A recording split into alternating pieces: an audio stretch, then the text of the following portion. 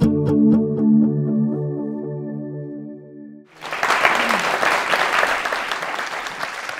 so much. Good evening, everyone. Uh, my name is Olesya Khromeychuk, and I'm the director of the Ukrainian Institute London.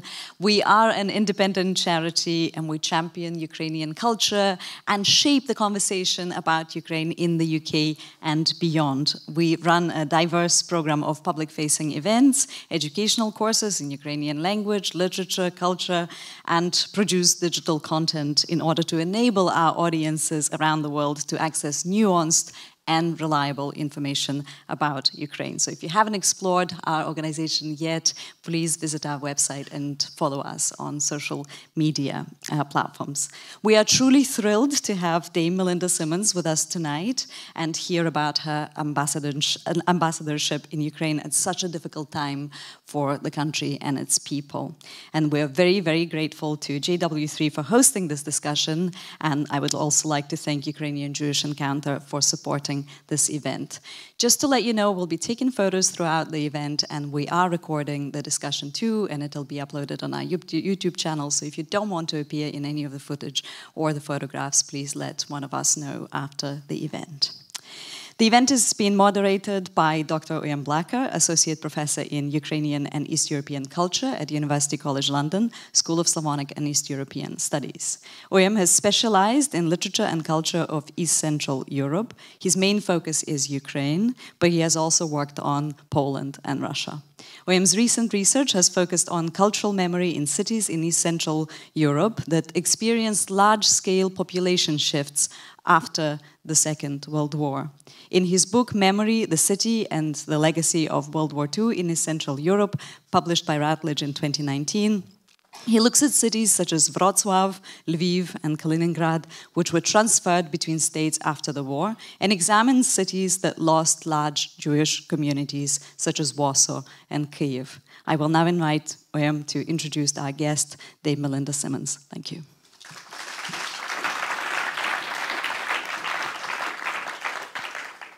Thank you so much, uh, Olesya. Um, it's a real pleasure, a real honor for me to be able to introduce tonight's uh, guest, tonight's speaker to you, Dame Melinda Simmons, uh, who was appointed UK uh, ambassador to Ukraine in 2019. And she went through some pretty stiff challenges during her time as ambassador, not only going through the outbreak of the coronavirus, um, three changes in UK Prime Minister, and of course, the, uh, the Russian invasion of Ukraine in uh, February last year. And during that time, Dame Melinda showed extraordinary leadership. I think anyone who followed her on Twitter, followed what she's been doing in the media, would have seen that very clearly. Uh, the British Embassy was one of the last to leave Kiev and left for only a very short time and one of the first to come back and start working again. Uh, and Dame Melinda was exceptionally active during that time, supporting volunteer efforts, meeting with soldiers, visiting reconstruction efforts, and obviously leading the UK's response on the ground uh, in Kiev. Uh, and she's also, during that time, during her time as ambassador, worked actively with the Jewish community in Ukraine, um, including attending the re-established uh, services at the synagogue in Kiev after they were temporarily paused uh, during the first uh, weeks and months of the invasion. Um, and for her services to diplomacy, earlier this year, Dame Melinda received uh, a damehood. And uh, that is possibly the highest honor she's received, although she also had a croissant named after her in, by a That's Kiev high. bakery, which is probably definitely higher, somewhere on the same on the same level. um, so I'm really, really thrilled and delighted to be able to speak to you, to be able to speak to someone who's been in Ukraine during this time, but also been obviously representing my country in Ukraine as well, and doing so extremely effectively. Um, so there, there are lots and lots of things that I want to, to talk about, but I want to just begin maybe by your how you came to Ukraine. Um, you came there in 2019 after spending, I think, about a year preparing and, and learning the language. Um, but it wasn't you weren't new to Ukraine. You, you knew you, have worked in various different parts of the world, in various parts of the world with complicated um, situations of war and conflict, um, and you had some experience of working in, relation to Ukraine before as well. So when you coming into that job in that year that you were preparing, what were your what was your image of Ukraine? What were you expecting? And then were, there, were those expectations met, or, or, what was there something in particular that surprised you? Thank you, and uh, thanks for, for having me tonight. Um, I, uh, so first of all, it was eight months that I had to learn the language. I mean, goodness, it can be a challenge to work at the Foreign Office, but being told to learn a language that you had no knowledge of before and be fluent in it, fluent enough to be able to present your credentials in comfortable Ukrainian and have a conversation with the president in your first week there, that that was a challenge the likes of which I hadn't had before. So that was seven days a week cramming to uh, get myself to that level. And I don't remember it as a particularly happy time. I have to tell you, it was, it was quite stressful. But what was really interesting was that when I wasn't studying the language, I was talking to people as much as I could and reading every possible recommended book on Ukraine and adding to um, my own background. My background was in conflict and fragile states, and I'd worked in and on many of them. So I came with quite a good understanding of that and its impact on development. But in the previous four years, um, I'd been working most particularly on Ukraine because I had set up this cross government fund, the Conflict Stability and Security Fund, and Ukraine was one of the biggest recipients of it. Um, and because it was one of the biggest, I visited it um, so that I could see what we were doing with the money and also just get a sense, really, of the role it was playing alongside the politics. So I was already deeply interested in it. And when I came to think about what happened was first, I thought it might be fun to do an ambassador job. Felt like a whole different set of challenges. And then I thought, well, if you're going to do that, where might it be? And Ukraine just immediately presented itself as a brilliant place to go and do that. It brought together all my background understanding with personal history. And, um, and to be honest, by the end of the eight months before I came, I was not one of those who characterized Ukraine as a poor and corrupt country, which is what you keep hearing. Mm-hmm. I understood why people saw Ukraine as a poor and corrupt country. No one else was killing themselves over eight months to try to get to know it. I was um, incredibly excited uh, about going. There was, the, there was the war, of course, and I am among those who think this invasion started in 2014 with the incursion to the east of the country in Crimea. So there was that to think about and what wasn't working, because it was already clear that the Minsk agreement was not working the way it should. But there was also a country stuffed full of educated, interested, massively IT literate young people who, uh, who appeared to have a really strong commitment to grow their country into something that could be more than it had been, more than it could. And um, of course, during my time there, President Zelensky was elected, so that added uh, either to the sense of excitement or despair, because when I arrived in Ukraine, you were either one or the other. You were either really excited that someone completely new had come to finally tackle the woes of the country, or you were, you were desperate because you thought you needed a safe, experienced pair of hands in Poroshenko, who'd been president before then. So coming into that environment and starting work at actually exactly the same time as President Zelensky was mm-hmm. appointing his cabinet, that's a real privilege um, to start the same time as a president who had zero political experience. I had zero ambassador experience. I thought we had something in common. um, I mean, what was your impression of Zelensky? Because he's a very interesting and quite complicated figure in the way that he came into politics. Mm. And you know, when when you took up your position, he was, um, as you said, just coming into power, but you know, by the time of the full-scale in invasion, his popularity had really plummeted. It had, yeah. Um, so I wonder, you know, and you've obviously met him and you know him. What what are, what are your impressions of him as a politician and as a leader? So um, I, I, have. I've met him um, several times, and um, I first met him when I handed my credentials, and actually I was only in the second group of ambassadors to deliver credentials to the president. And I got the very clear sense when I was doing it that he had no idea what the point of this ceremony was. to be fair, I didn't really have much idea either.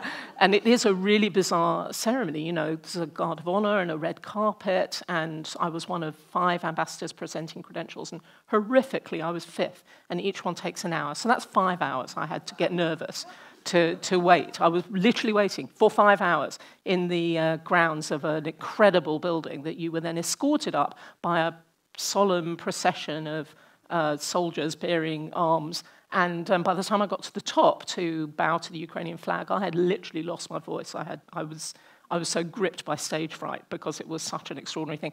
But then I saw the president, who, who is not a tall man, and uh, I saw that he actually looked as nervous as I felt. So I thought, this, okay, this is good, we're cool, it's all right. He has no idea what's supposed to be happening either. And so in the room that was full of people, full of um, people who were filming the event, and uh, diplomats, senior diplomats were there, and cabinet ministers, I delivered my speech in Ukrainian, and then I handed over, you're supposed to hand over your credentials, which, by the way, I hand scribed with a quill. I, I handed that over uh, with all its archaic, beautiful, it's a beautiful document, gave that to him, and then you go and have a bilateral with him in the corner. Um, and uh, he had his, the first impression I had of him was that he uh, didn't want to be reading quill written stuff. What he wanted was to talk immediately uh, about trade deals and visas and access to the West in a bilateral partnership. And I think that characterized every conversation I had with him, or that any minister that was visiting had with him before the war and during the war. Zelensky wanted to get things done. And he may not always have, you know, gone about them the right way, but he definitely wanted things for his country. During the war, of course, it became a different set of things we were talking about. But still, there was a very direct um, way in which we were able to talk about them. I honestly do believe the fact that he didn't have a diplomat or a politician's background, and neither did I, actually enabled a very um, a direct conversation of the kind that traditional diplomats don't normally do. And I do think that helped. I mean, yeah, it's, it's interesting that you say that because I think watching the way you met the challenge of being the ambassador at, in wartime, in some ways it did remind me actually of the way that he met the challenge as, as president and as someone maybe who comes in and doesn't have this sort of sense of the the, the same old ways of doing things, the same kind of limitations, maybe comes fresh to it, maybe comes with a new approach. You know, he's a, he's an excellent communicator. It's one of his big strengths as a, as yeah. a president. Um, and I think you're the same. You know, in, in, the way that you communicate with people via social media, for example, is is very very important. Actually, I think you know, in in, in allowing people to see the UK's support for Ukraine and what the UK is doing on on the ground. Well, thank you for that. Um, so on his side, it's absolutely the case that the way in which he communicated with people was his, his big thing. I used to, before the war, um, occasionally would travel with him, which was a real privilege. And uh, I remember one particular case where we went to Milove, which is not far from the Russian, in fact, actually, it's like a kilometre from the Russian border.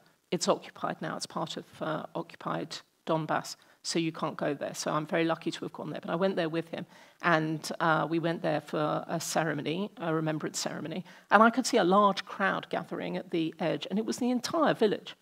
The entire village had gathered to see if they could get a selfie with the president. They were so excited to see him. And then we all stayed while he, he talked to pretty much every single person. He talked to the kids, he talked to the grown ups, he talked to the grandparents. He was extraordinary in the open way in which he would do this. So it doesn't surprise me at all when I see him going to the front line, as we all know that he does, which is also an incredibly dangerous thing for him to do. But he goes and does it. That um, uh, soldiers gather around him. Actually, one of the most powerful pieces of footage I saw of President Zelensky this year was he stopped off at a roadside station on the way to one of his frontline visits. Or some, it definitely looked like a roadside garage. Obviously, it wasn't named for security reasons, but the footage was released. And there were soldiers queuing to buy a cup of coffee and he joined this queue. President was in the queue. So, of course, my first thought was, what is people thinking, not getting him a flipping cup of coffee? shouldn't have to queue for it. And then, of course, my second thought was, President's lining up with all these soldiers waiting to buy a, a, a cappuccino like the rest of them. And the like the rest of them is what um, makes him so relatable. Mm. In that sense, he's an extraordinary wartime president. So, um, he's kind of the man for the moment in that sense. As for me, it's true that my social media doesn't is is unusual. It's not totally out there, but it is unusual for ambassadors to um, talk in that to be that communicative, if you like, that, that sort of naturally communicative, communicative. There's an awful lot of awkward standing in front of flags that says, delighted to meet the representative of so-and-so. That's usually how ambassadors use social media. Most are a little nervous of putting themselves out there. Even before the war, I was doing quite a lot of it, but actually during the invasion, it became clear to me, just by talking to my own family, that if I didn't use social media to explain what was going on, it was impossible for most people to understand it. So using social media, even as, and Ukrainians would often tell me that at three o'clock in the morning, they'd look at my Twitter account to check that I was in shelter because they were in shelter and feeling really bad about it. But if they went on Twitter, they could see me saying, I'm in shelter. It's all hell's broken loose outside, and it would, it would be a comfort to them. So there were two audiences going on there people who could feel UK support in a visceral way because I was experiencing what they were experiencing, and UK people who were uh, gaining some understanding through the same lived experience, and that's why I did it. Every so often, I would get Foreign Office people going, Are you sure that's a little bit out there, isn't it? But no one actually ever said, Don't do this. I think very quickly it became clear that Russia was waging a war on social media against Ukraine, just as they're waging a war with food and they're waging a war with Ukraine's children and they're waging a war on the economy. They're not just waging a war militarily. Well, so the UK is giving a whole lot of military help. We're giving humanitarian help. We're campaigning on grain, and we've given a huge amount of fiscal support to help with the economy. Seems fairly obvious to me that we would also bring that uh, support of Ukraine's social media. Mm-hmm. I mean, I think also one of the things that I certainly appreciated um, reading your statements, and I think Ukrainians also appreciate it, is that you call things by their name. You know, you don't sort of tiptoe around um, speaking about the brutality of what's happening, about you know, the atrocities, about the fact that torture and rape and kidnapping are, are happening, um, and that you're not sort of reticent about speaking about it in, a, in an emotional way. You know, and it's one of the, the things I think is really, when we talk about war, it's very difficult to know how to speak about it and find the language to talk about war. Um, and there's a lot of euphemism, and there's a lot of kind of especially in, in the media, there's a lot of, well, this side and that side. But I think it's important to name things and important to say to speak honestly and not to you know look for some kind of false sense of balance when that's inappropriate. Mm. And I, you know and that's what I feel when I when I see the way that you communicate. Yes, I mean, for all ambassadors, they have that perspective that, of course, British ministers don't. Ambassadors, their job is to get under the skin of the country mm. and therefore know things and be able to say things about the country. That's kind of the point of having an embassy in the country at all, is to get under the skin of it. Um, but um, I was also traveling and meeting people who had uh, experienced the most unimaginable things. And if they were content to talk about those things, then I had a duty to reflect those things. It's not that it all seemed crystal clear inside Ukraine. There are perspectives, but actually, on the issue of Ukrainians being targeted, there was no perspective. There just what it there was what it was, and it needed to be put out there. I thought, as part of this, you know, countering fake information, but also because there is so much nuance and so much jargon around describing war that actually it can very easily just get kind of lost among um, both the hysteria and the fake information. Um, I suppose if I learn one thing, it's that you can cut through quite a lot of that if you can speak authentically mm-hmm. uh, about what you see and hear. I went to Bucha and I saw those mass graves and talked to relatives of people who had been shot just cycling down the street or whole families, you know, found with their hands tied behind their backs. I have a heritage that dictates that you don't go through that experience and not talk about it. I was not going to leave being someone who had not brought world attention. What, what the government I represented chose to do, I could lobby them on, but that wasn't my job. I didn't have that responsibility. The Prime Minister and ministers had that responsibility. But I had the responsibility to tell them like it was and make clear to, to people generally what was going on. Then everyone else could judge for themselves what it was they were reading, but I wasn't going to be someone who was going to leave without telling it. Absolutely. I mean, and this, this being in that situation, I imagine, was not something that you had anticipated going into this job? But I had anticipated it actually. You had? Not just not in my lifetime. Mm. I mean, I didn't think it was going to happen within those four years.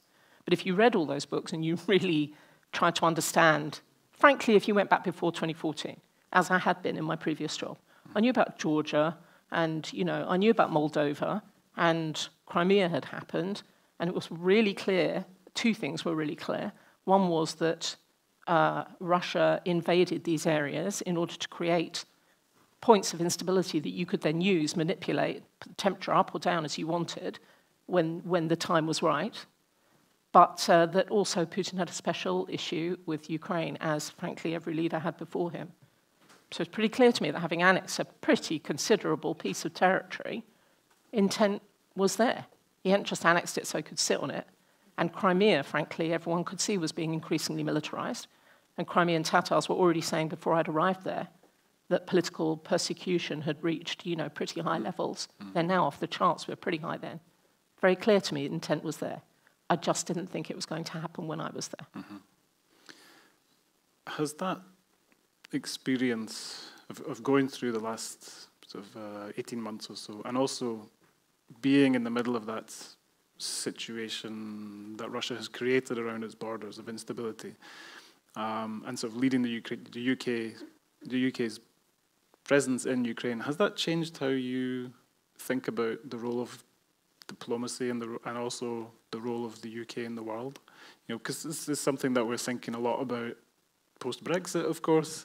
What's the UK's role in the world, and a lot is spoken about it. But I think, you know, to me anyway, what I've seen over the last since the full-scale invasion is that is the UK is playing a leading role and it is doing it is acting you know when when others are speaking and prevaricating and waiting and um, humming and ahhing that the UK has been acting and it's been it's been refreshing to see um, but I wonder what about your perspective on how the UK is the UK's position in the world now and also how our diplomacy um, functions in that context um, so, of course, I, I was in uh, Ukraine when we finally left the EU and attended my first and my last EU meeting. And I also was heading the team in Kiev that negotiated the bilateral trade deal. It was one of the first trade deals to be signed, actually, and it was a brilliant moment of being able to do it. But of course, I was equally conscious that Ukraine wanted to join the EU. And so I was, I was surfing a very delicate line of, look, we left for our reasons, you want to join for your reasons. These things don't necessarily meet. We support you wanting to join the EU. But you were still acutely conscious of sort of coming from a, a sort of what, a, a position that most East European countries just did not understand why we had chosen to leave an organization that pretty much all of them were so desperate to join. So, you know, you kind of camped on that. But um, I've been doing debrief calls all last week and this week before I finally go on leave and rest, which I really need to do.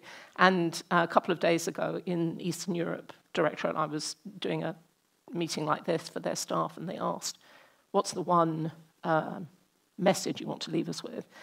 and I said, Look what we did. Because uh, I think it has been extraordinary for clarity of policy and for the way in which whole of government came together and then whole of people came together to um, support the cause and then engage directly with people. I, uh, I'm really proud of the piece that I played in it, but I also think it will have repercussions that are nothing but positive for the way in which people who work elsewhere in the world and have to deal with other challenges, some of which have occurred during this time, but of course there will be more, know what's possible. I believe that our experience in Ukraine has uh, built, built a new confidence, actually, for our own diplomatic effort. And that's an incredible thing to be proud of, not just that you've helped deliver in Ukraine, but you've been part of an effort that then potentially transforms the way in which we do things in the future. Mm, absolutely. Um, I want to come back to something that you said a couple of minutes ago. Um, you mentioned about visiting Bucha, and you mentioned, and you connected it to your own family history. Um, and obviously, you have um, family links with Ukraine.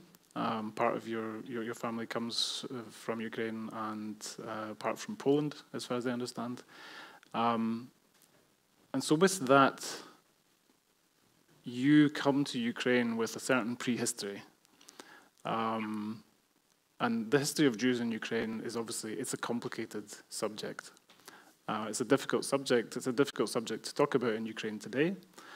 Um, it has been for a long time for obvious reasons. Um, Ukraine, obviously, a place where Jews lived for hundreds of years, you know, up to a thousand years, depending on how you count. um, mostly in peace, but obviously with some extremely um, violent interruptions to that existence. Um, and I wonder how, I want to ask you first of all, how that informed your attitude towards Ukraine coming into it. Um, you know, your expectations of what Ukraine would be like on that, on, on that, on that level, um, but also what your experience has been uh, working with the Jewish community in Ukraine, of the attitudes towards Jews in Ukraine, and also the attitudes towards the the history in Ukraine. You know, the, the rich heritage on the one hand, but also the story of the pogroms, the Holocaust on the other hand as well. So that's a really big question, and it's really difficult to answer it concisely, but you know, I'll try. Um, so first of all, that's, that was the one blank slate for me in all the learning I'd done and all the outreach that I'd done. Picked up very little about Jewish history in Ukraine. So it's maybe easiest if I reflect a few moments that sort of were pivotal for me because I very deliberately went out of my way to try to understand it. The one thing I told, first thing I told my embassy staff on arrival was that whenever I traveled, and ambassadors do a lot of travel, and Ukraine's a huge country, but that whenever I traveled, I told them I wanted to visit the synagogue if there was one, and I wanted to visit the killing field. Every place in Ukraine has a killing field. Most of them are still not um, memorialized but I thought it would be powerful if I went. And there was a picture taken that I'd been to this site. And um, bit of a surprise for embassy staff, but they, you know, they did their research, and most times they found the, a killing field, and they found the synagogue, and so I did that. And in so doing, built a picture for myself, really, a really tragic picture, because in pretty much every case, the number of people, the number of Jews killed during the Holocaust particularly, had equated to a minimum of 30% of that place. Most times it was 40 or 50%. So I, I find those numbers staggering, shocking, really. And I would spend time in some of those places. Some of them were towns, busy towns, like I remember Vinnytsia, a picture of the day after Jews were marched down to the local park, which was only about 20 minute walk away, and all shot, was that one, one day it was a bustling market and the next day it was just empty just empty, and then everyone else is getting on with their lives. And this was a, a, a picture actually throughout the country that I just felt the need to try to get into. Um, and uh, I did that partly by tracing a little bit what had happened to my own family. So I found my family name on a Holocaust memorial in Kharkiv, half an hour outside Kharkiv, at a place called Drobytsky Yar, where about 14,000 Jews of Kharkiv were shot in 1941. That memorial was hit by a Russian missile, actually, um, last November, I think. And I remember never being so angry in my entire life as I was when that happened, which is odd, isn't it? Because I'd been to Bucha, I'd been to Brovary, I'd been to Irpin, I'd seen these sites of mass killings, and yet the thing that really made me most angry was that the one place where I'd found a bit of history from my family now didn't exist anymore. Um, so it was an interesting emotional reaction. But the other thing, probably most interesting for me, was that I would often do interviews, as ambassadors do. I would do interviews, and uh, everybody was really excited about the fact that I had Ukrainian heritage. So they would say, It's fantastic that your family is from Ukraine. Tell us a bit about your family. And I would say, Okay, well, they lived outside Kharkiv. And my own family, this is the story of, of why they left. They left because of anti Semitism. Half of them ended up in the UK. That's where my branch comes from. And they would say, Great, and what happened to the rest? And I would say, Well, they were all murdered in the Holocaust. And then the interviewer would go, So tell me about the trade deal. I found that really, uh, really interesting. So for the first three or four interviews, I would go, all right, let's talk about the trade deal, and I would tell them about it. But um, as I uncovered more, of course, what, what I was encountering was um, a combination of a deep discomfort to uh, peel off that plaster and really talk about what circumstances led to those Jews being killed because, of course, it dovetails both with Ukrainian history, it's part of Ukrainian history, but it also involves actual Ukrainians. And that's an untold story, as yet untold. Uh, and it's a very delicate and sensitive thing to do. But I tried to do it. Interview after interview, I would go half a step further, half a step, half a step, to try to help people understand that we could talk about this uncomfortable thing. I was not going to act angry, I was not going to get militant, but we really needed to talk about the full circumstances in which my family were marched to that ravine and shot. And uh, I, I managed partially to do that, if you like. Took a really long time, probably not until beginning of last year, maybe, that we were able to have that kind of conversation. But the other thing, of course, is that Zelensky is Jewish, and the other part of this is that uh, Ukrainians, after 70 years of Soviet occupation, are, are anti-Semitism blind. They're not not anti-Semitic. They just, quite a lot of them don't know anti-Semitism when they see it. And so I would come across things that would be shocking in this country, that were very normal in Ukraine, and about which people would get quite defensive when I would say, that is anti-Semitic, that thing that you've said. So one of the most egregious things is that you can freely buy, still, in Kiev, the little Russian dolls, you know, the ones where you open them up and there's a little one inside, etc. You can get those that have um, pictures of rabbis on them with curls and hook nose holding money bags. You can buy those in most tourist shops in Kiev. And in one particular one, I saw them for sale next to a Hitler Russian doll. I walked into that one actually and said, why, why, are you selling these? In fact, what I said was, why are you selling them next to each other? But obviously, there are so much bigger questions than that. But I asked. She said, well, they're just funny. They're a joke. And uh, she, was, she was quite uh, annoyed that I was asking her about it. But people would buy them. And who would buy them? Ukrainians would buy them. They would call them their lucky Jew. Some people I knew would take them to job interviews. Why? Because if you took your lucky Jew with you, you'd get a well paid job. So you see the extent of this, and I would say, okay, that's a completely, that, uh, everything from beginning to end of that is an anti Semitic trope. And they would go, no, everyone knows that Jews are good with money, and therefore, you know, the symbolism. And then I would hark back to the Holocaust and say, this is what happens when an anti Semitic trope becomes a bad thing. And they would not make that connection. The answer, I'm afraid, I, I, uh, leaving Ukraine is I think not to have this binary discussion, there has to be education. It might be boring, but this needs to start in schools. And the one thing I did manage to achieve was I lobbied the Foreign Office to run anti Semitism training that was East European specific, because, of course, this isn't just a Ukrainian phenomenon. You can buy these uh, Russian dolls in Warsaw, by the way, in the same tourist shops. You go to the old city, you can find them there. And I also found them in Vilnius. And I went to Estonia and I found them in Tallinn in the old market. So this is a, a post, a former Soviet Union post occupation historical gap. And the only way is to keep talking about it such that the issue has to become an integral part of their understanding of their past. And unfortunately, with the Russian invasion, I think it's made it a bit harder. Mm. But it means we all just have to keep talking about it.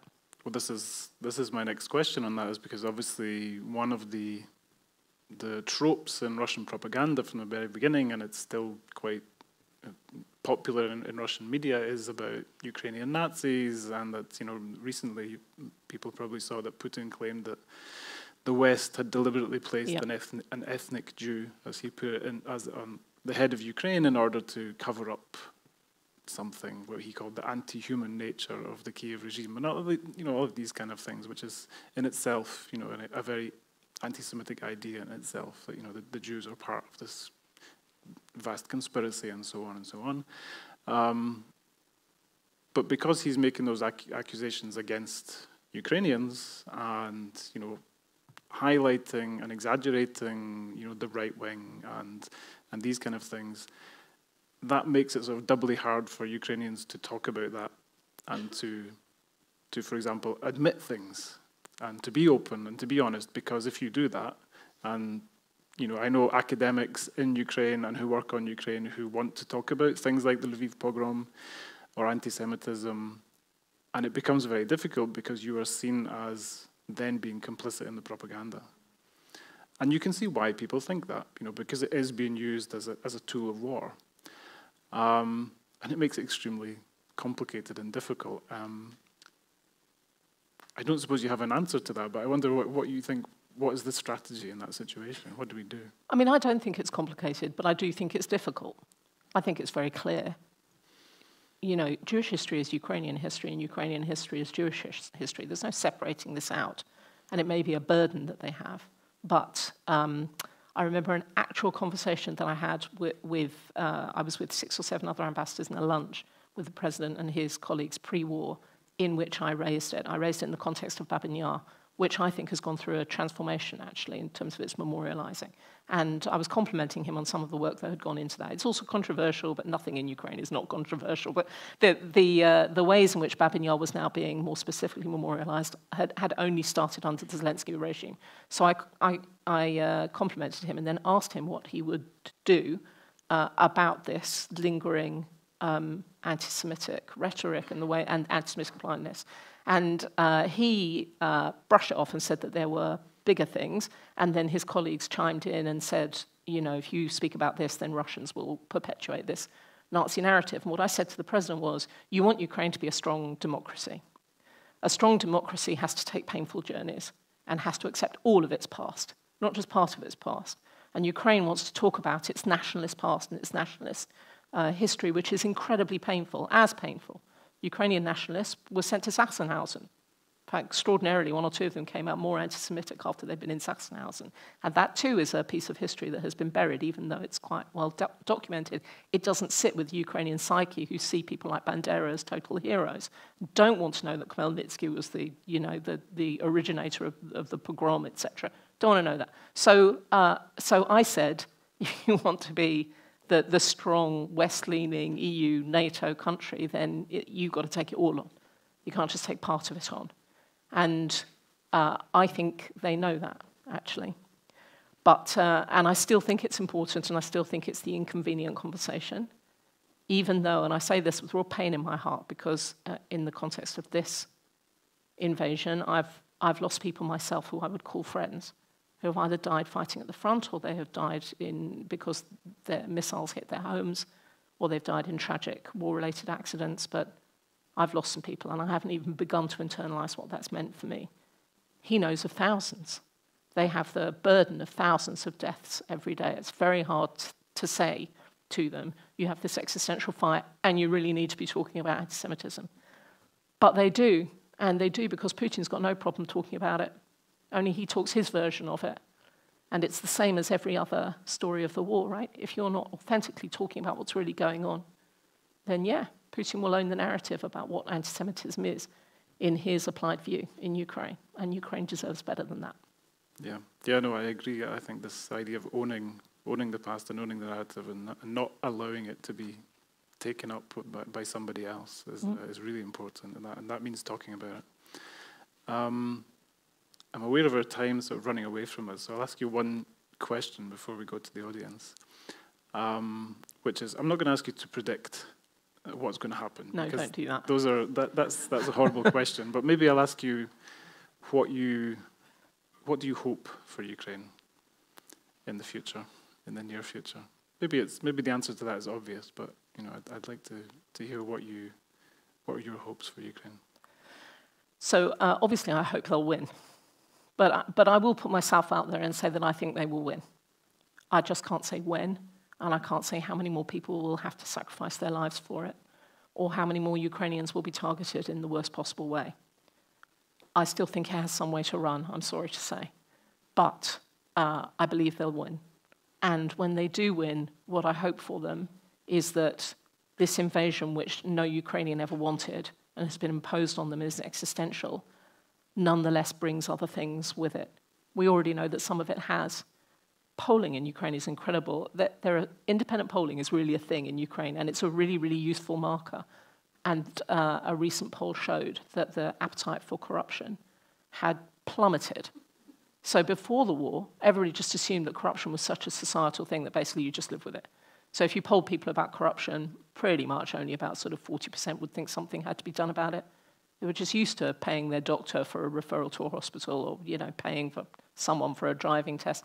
I had to pay someone to go to a swimming pool for a certificate to say I was healthy, for example. No part of society wasn't touched in some way by petty corruption. So, you know, the journey to, to transform is a big one. But what that poll showed was that the break with Russia that had, if you like, it, firstly, that felt final. But everything that was associated with it, the thug state, the, the patronage, everything associated with that, Ukrainians didn't want to be a part of in their country. So this wasn't just about what happened in Russia.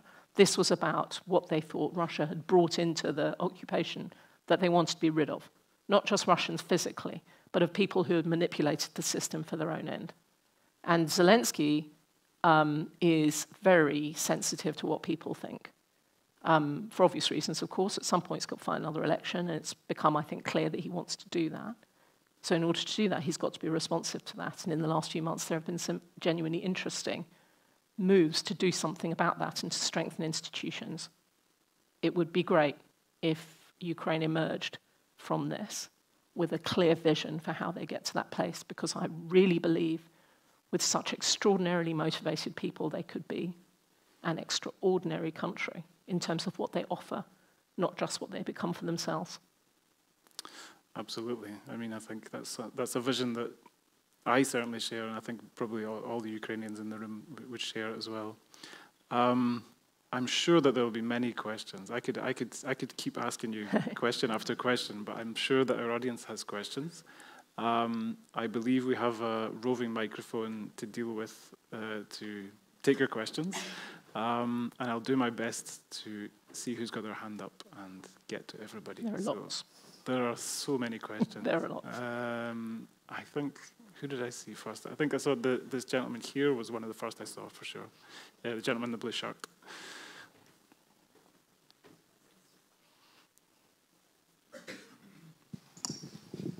Uh, Stephen Dio, lifelong Russia watcher. Ambassador, um, first of all, thank you very much for fascinating discussion tonight.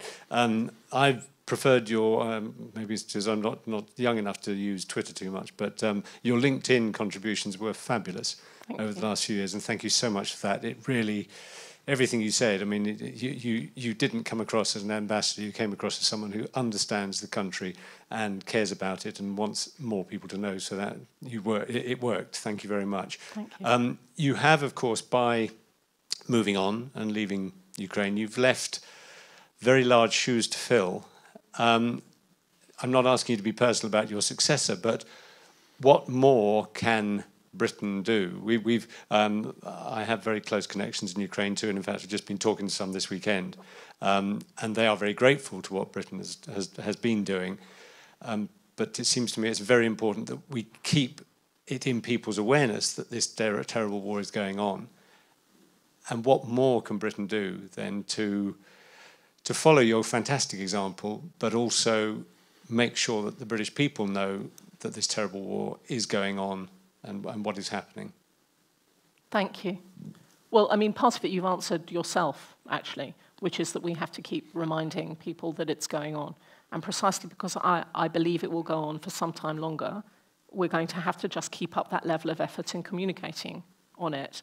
But also, we're going to have to stick with all the parts of how this war is being fought. So I think most Brits would, would completely understand. Um, and in fact, in our own polling, it's over 70% of Britons think that the government has the right policy on Ukraine, which is also unprecedented. You never normally get that kind of number. So that's a real, that's, both, that's a message to Rishi Sunak too, of what he needs to do for his people. And so everybody understands the military need because everybody understands in some vague way that that fighting is going on. Um, there's, a, there's a thing that needs to, that I think still hasn't really landed, and particularly with our media, that, to state the obvious, the amount of uh, occupied territory is massive, and that the counteroffensive was never going to be able to restore that territory in, you know, in this year. It, it just was never going to happen. But the progress is, is difficult and it's slow, but it is progress. And therefore, just geographically, we have to stick with it for a long time. But also, it's a hybrid war. And that's the bit that I think is less clear. That if you put down a load of humanitarian aid, that's it, that's done. Or you give a tranche to the World Bank so that you can see uh, Ukraine's economy through on life support for a quarter, you don't need to do it again. But we do. And I think the difficult, the dilemma for this government, or indeed whichever government after the next election, whether it's Conservative or with Labour win or whatever, are going to have to eyeball the need to be present uh, in all parts of it. And why do we need to be present in all of them? Well, firstly, because the other thing that we've managed to exhibit is our ability to influence others by stepping into the game. So there's an interesting thing where, um, for example, this is, this is out there as a public thing. We don't have F-16 planes, but other countries do.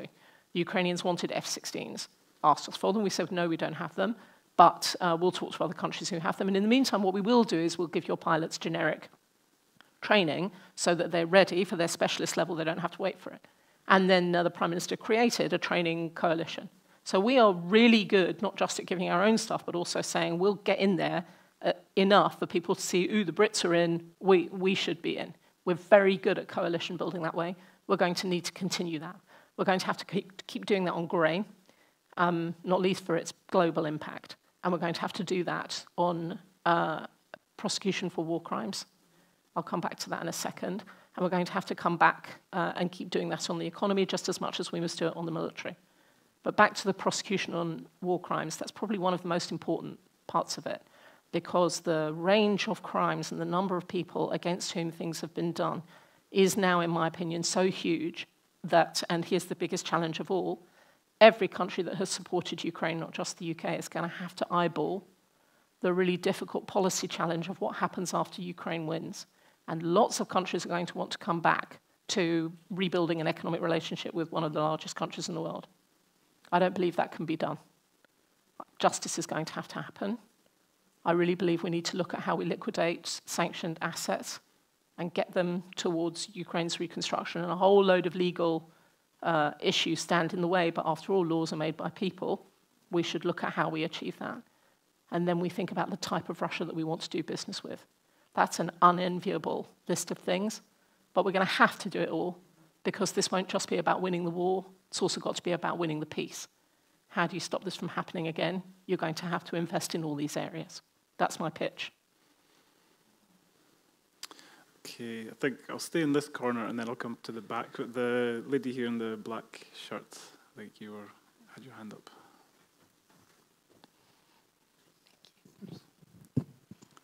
Thank you. Uh, I mean, quite a few very complicated topics were covered today, but my question will be sort of um, what will you miss here in London, like being resided, like being resident of Ukraine for four years? What will you miss the most in London here? What have I missed about being in London? No, no, no, no. What will you miss of Ukraine, of, Ukraine, of, Kiev, right. like yeah. here in London? Yeah.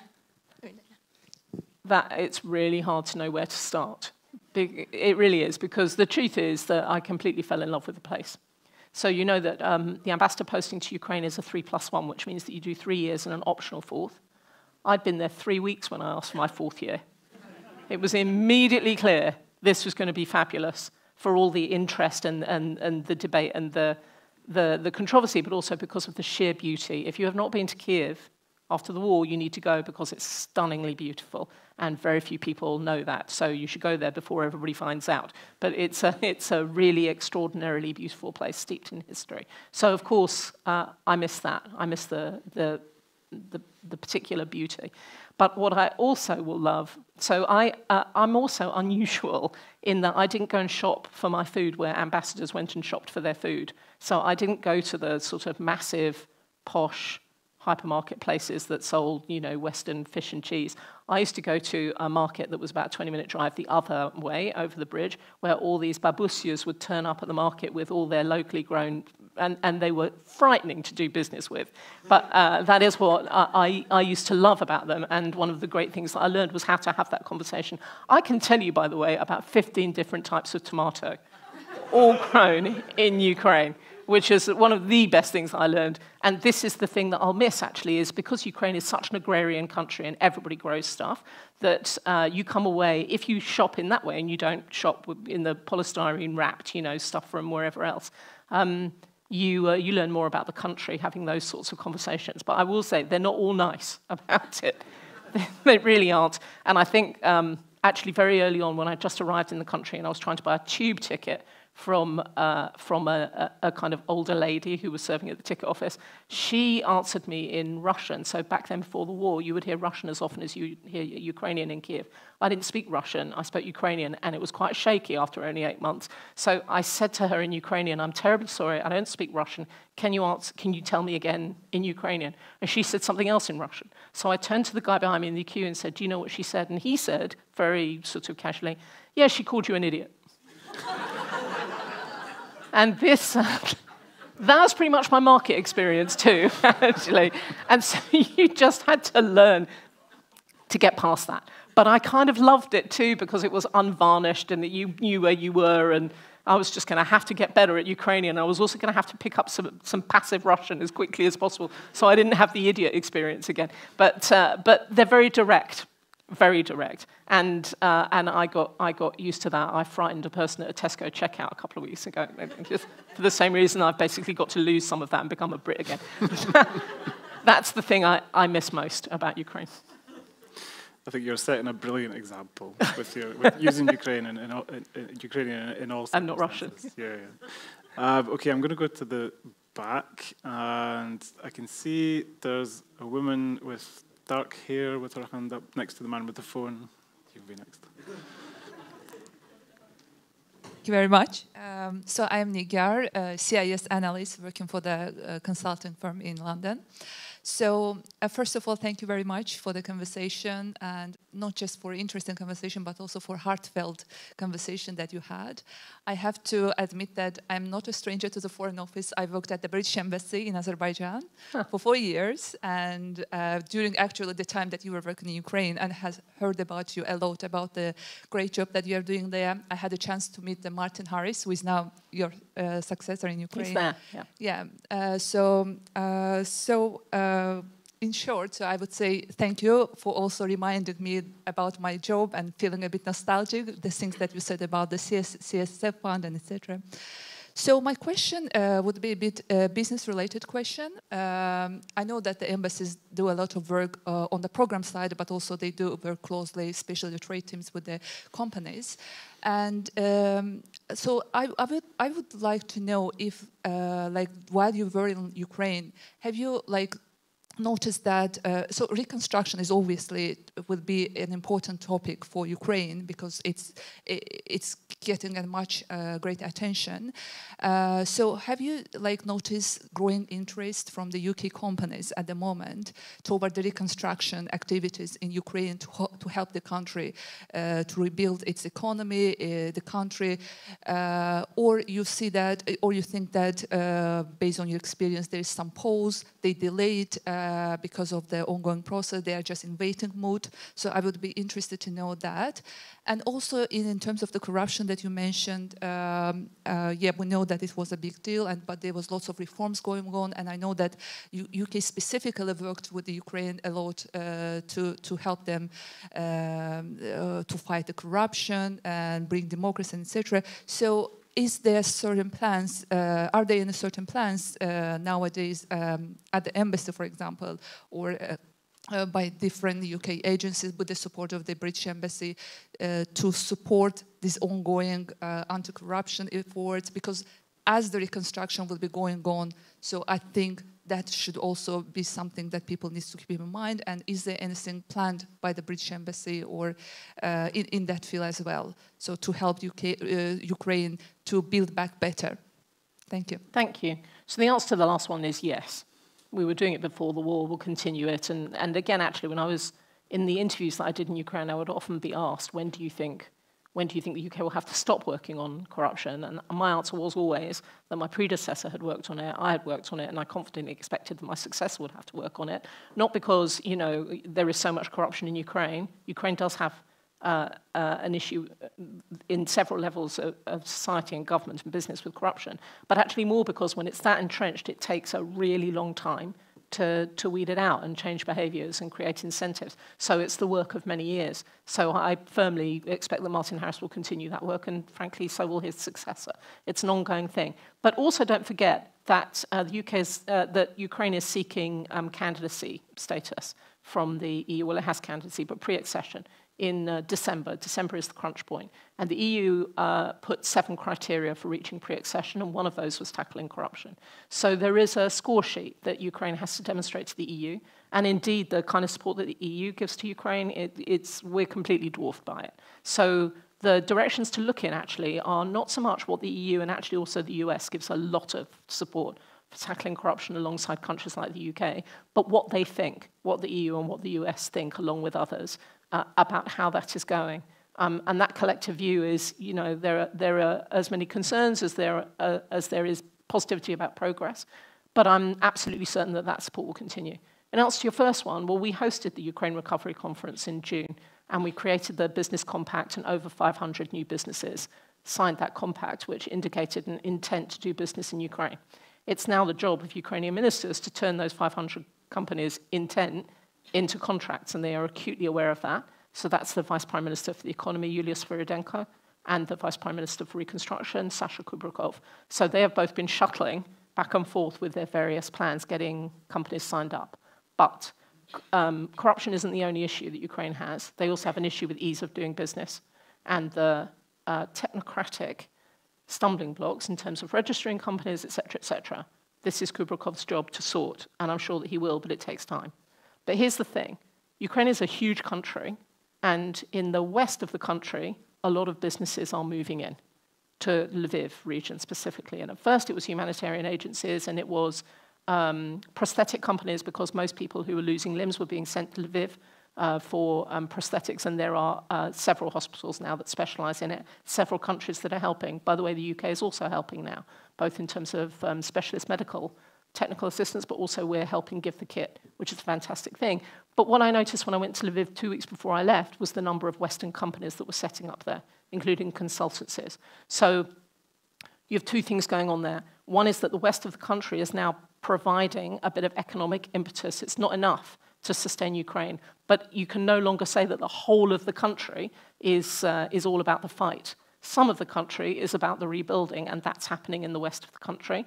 And uh, if anyone is interested in being part of reconstruction, actually getting to know what is happening that's making it possible for businesses to establish there is a really important thing to do. But the other message that tells you is that no one's waiting for the end of the fight. Indeed, we know that Ukrainians aren't waiting for the end of the fight. They are already rebuilding.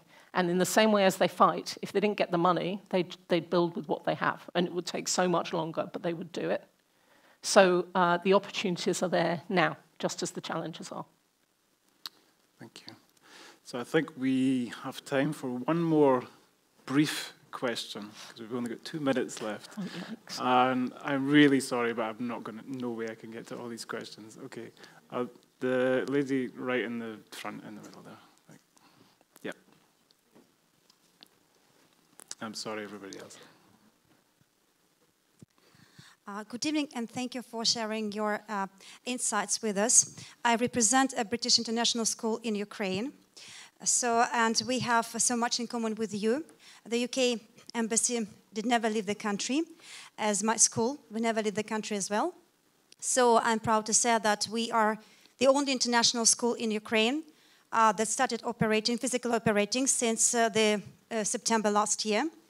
We finished uh, our academic year successfully with the global support and uh, with the assistance, ongoing assistance. And when you chose to stay in Ukraine, you sent a very powerful message not only to Ukrainians across the world also, and uh, this year, we also opened, physically opened uh, in Kiev and Dnipro on the 1st of September.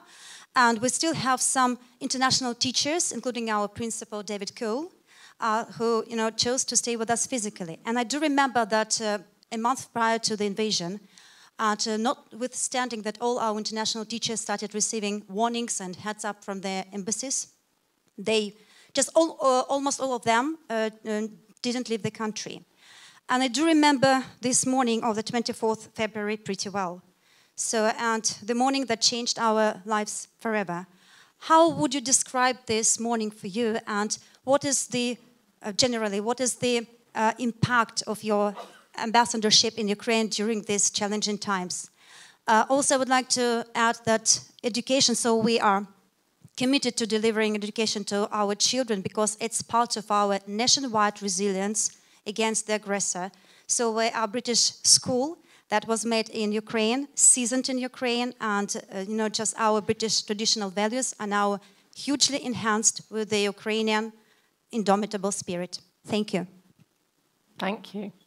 So I find it not that easy to talk about the 24th of February, actually, because it was um, such a difficult night. So uh, I left Kiev on the Saturday, the Friday night, actually, before the invasion, so I'd only been in Lviv four days when uh, we reached that night. And the thing was, what you have to remember is that UK was one of two countries who was seeing this coming. So the UK and the US were engaged for a good six months before then talking to other countries about what we were seeing. I was fronting that from uh, Ukraine, inside Ukraine. I'd briefed EU ambassadors, I'd been in and out of the palace of the president, I was telling everyone I could find in the way I best could what I could see happening. So by the time I got to Lviv, I was exhausted because, of course, we were, you know, you could see, you could see the physical movement, as it were, and a lot of public debate about culmination. So the point at which stuff was ready, and if it didn't go now, then it was going to have to withdraw, and therefore it was going to go. So I didn't sleep um, any night before that happened. I didn't sleep on, well, I arrived at 3 a.m. on Saturday, so no sleep then. Saturday night, Sunday night, Monday night, I was awake looking at the sky, so I was exhausted. But on the night of the invasion, I was, you know, I probably sort of napped for an hour or two, and then I woke up and went and looked out of the window and remember hearing an air raid siren for the first time ever. Of course, since then I've heard it several hundred times. But I'd never heard an air raid siren before, except in war movies and what my father had told me. And so my first uh, thought was that I never thought in my lifetime that I would hear that sound as a live thing, as an indicator of something happening.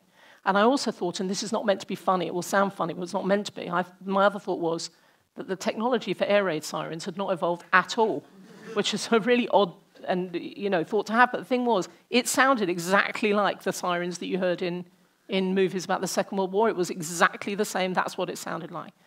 And then minutes after I heard that siren, and it was freezing cold that night too, and quite misty, I heard uh, airplanes flying low, and I knew that the skies had been closed. So obviously those were fighter planes, but I didn't know whether they were Ukrainian or Russian, and that was frightening um, and was the beginning actually of a, a, a, period where rumors came thick and fast, you know, about where those tanks were heading, whether they would go to Kiev or whether they would head towards Lviv region, which is where we were, and uh, rumors of collaborators and rumors of Wagner Group who were coming looking for diplomats. I really can't tell you how difficult that, that period was. But the worst, I think, thing about it was that that was the period when no one thought it possible that Ukraine could win it. You could see that line of tanks from space. So that was why, that's why I find it hard to talk about that night, because what I and my colleagues who were with me in Lviv, who since spoken about it, was that the biggest thing that characterized our reaction that night wasn't so much fear as total hopelessness. And it's the only time I felt that way, through not knowing what was going to come. It was a really hard time. And I don't really like, since I know this is the last question, I don't want to end it on that thought. I therefore also remember seeing those tanks calcify, you know, as they kind of got trapped and stuck and they didn't move. Um, and I was by then um, brought out to Poland. But we were camping on the border. We were literally hopping from one foot to another. We were not going back to London. We had a humanitarian operation going on there. I was commuting to Warsaw and back so that I could use their communications at our embassy and I shot to Warsaw to uh, tell them that I was going home for my short break to see my family, but that when I came back, I thought I needed to go to Kiev. And was utterly delighted to get a, yes, we think you should do that. And they made it possible. And the rest, as they say, history. Thank you.